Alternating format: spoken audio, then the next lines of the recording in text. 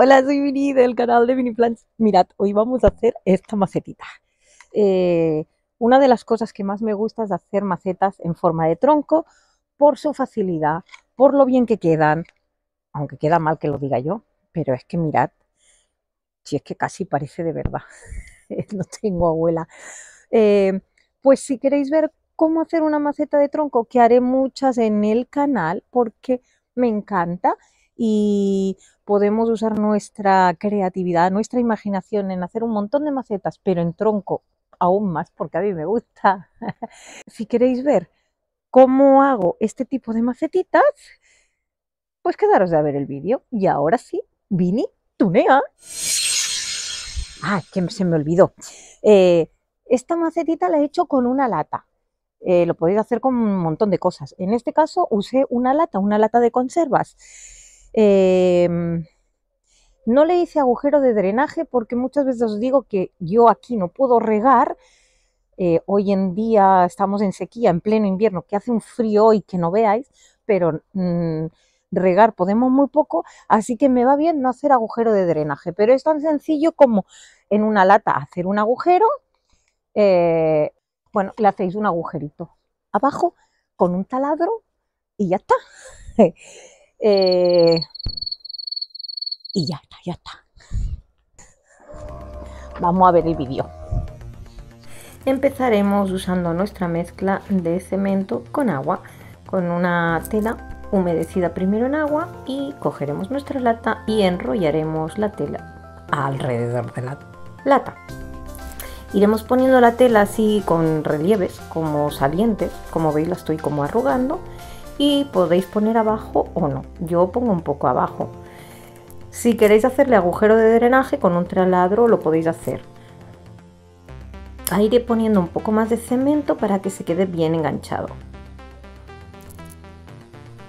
Ahora preparo un poco de cemento con arena. La medida es una de cemento y una de arena. Mojamos, eso es importante siempre mojar la pieza para que se una bien el cemento. Y ahí le echamos el cemento. Lo echamos mal. Como veis lo he hecho así a la destajo y con el dedo pues le voy haciendo formas relieves. Raro.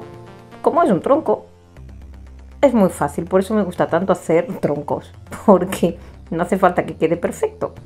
Tienen que quedar bollos agujeros y lo que queráis. Ahí le vamos poniendo. Y yo le pongo en la base si queréis. No le pongáis ¿Veis? Ahí está. Ahora tenemos que hacer la parte de arriba y tenemos que dejar más o menos un grosor de un centímetro. Y bueno, ¿veis? Fácil ponerlo mal, no hay que ponerlo bien. Por eso es tan fácil hacer un tronco.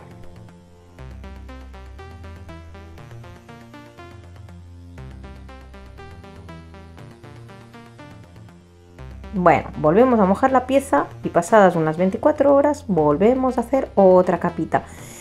Esta capa la uso para hacer ya la forma del tronco, porque el grosor ya estaba bien. Ahora solo es para hacer la forma del tronco.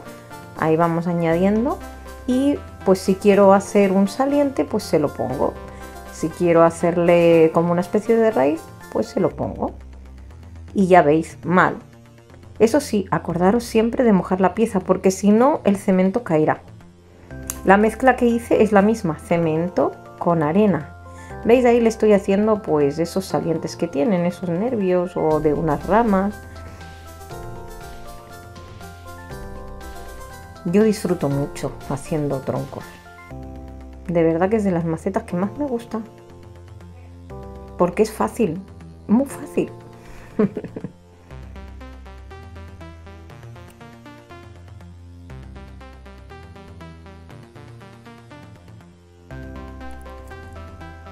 Ahora veréis que hago una bolita, ahí, ¿veis? Y la engancho. Eso es para hacer otra ramita así cortada. Bueno, un saliente o un nudo, no sé cómo le, se le llama, vaya. ¿Veis? Ya empieza a tener un poco más de forma de tronco. Mirad, coger cualquier punzón, cualquiera, y ahí vamos haciendo pues las eh, rayitas que tiene un tronco, el agujerito, Lo que no os he dicho es que aquí el cemento tiene que estar húmedo. Tiene que haber pasado como unos minutos para que no esté tan mojado, pero un poco seco. Bueno, si está muy mojado no queda bien, porque las rayas no se marcan. Y si está muy seco no se puede. Así que simplemente esperar un poquito, pocos minutos, y ahí podemos empezar a dibujar sus líneas. De vez en cuando rasco cemento y como está un poco húmedo, eh, puedo llegar a saltar un poco el de abajo y así pues hago como si la corteza hubiese saltado. Pero ya os digo, ahí cada uno al gusto y lo que queráis, usar vuestra imaginación.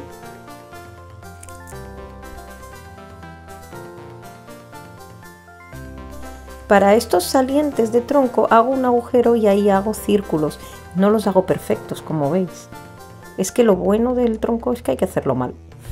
y eso es fácil. ¿Veis mis rayas? Así, ala, destajo, venga.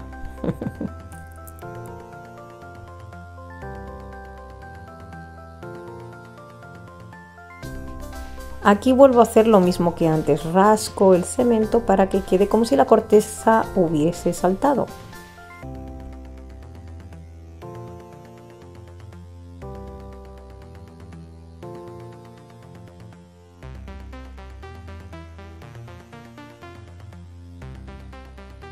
Aquí lo que estoy haciendo es poniendo un poco de grosor para que se marque más la corteza. Entonces le pongo en los laterales, en los laditos, un poco más de relieve para que se vea más el, trozo que saqué de cemento. Y una vez terminado, esperaremos que esté bien seco para pintar, pero tiene que estar bien seco. Bueno, voy a usar betón de Judea con un poco de aguarrás y vamos a pintarlo. Ahora lo veis muy negro, pero luego se irá aclarando.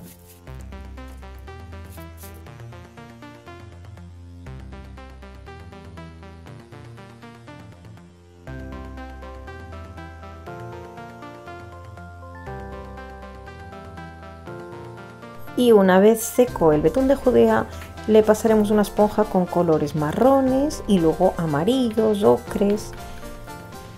Y ya está.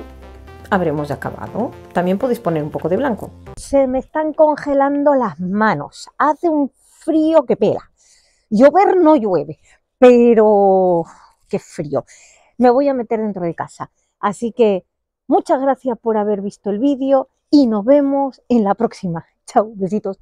Ah, no olvidéis suscribiros, darle like si os ha gustado y a la campanita para que YouTube os avise cada vez que envío un nuevo vídeo. Ahora sí, chao, besitos.